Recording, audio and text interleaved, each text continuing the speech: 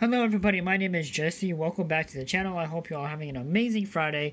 Today I wanted to share with you guys how to respring your iOS device running iOS 12 or later. You do need the Siri Shortcuts app from the App Store. It is a free download. Go pick it up and then proceed to the link in the description. That will take you here. This is where you get the iTweak shortcut. You do need to install this for this to work. Alright, now we're going to go ahead and open up Siri Shortcuts and run the iTweak shortcut. Then we're going to go proceed to the power settings and click on respring at the very top.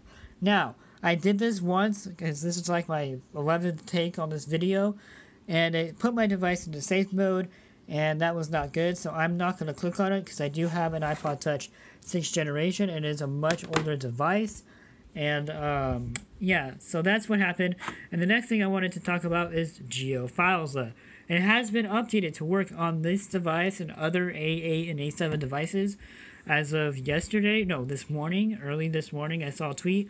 So I went ahead and installed it, and it does work. It may reboot your device because the success rate is not very well. Please do not mind the autofocus, and as you see, it rebooted my device.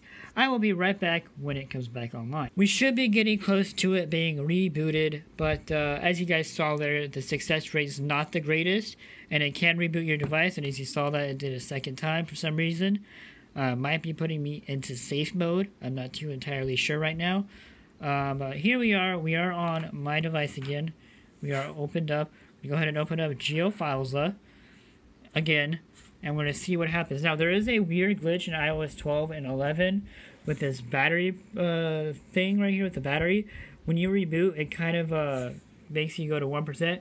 But as you see, the success rate is not the greatest, but it does work, I promise. Um, I have screenshots on my Twitter for proof.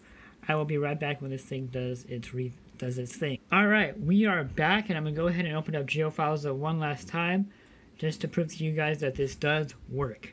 Guaranteed this works. And it's clearly not working today. Wow. That's weird. Only because I want to record a video. But this does work, I promise. You can go look on my Twitter in the description. I love you guys to death. I hope you guys enjoyed this video, and I'll talk to you guys soon.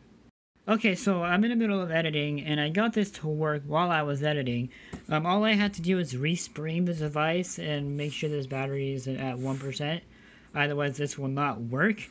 Um, so I, this is fully working. This is GeoFilza. I'm going to go ahead and go to the system, library, go all the way to core services.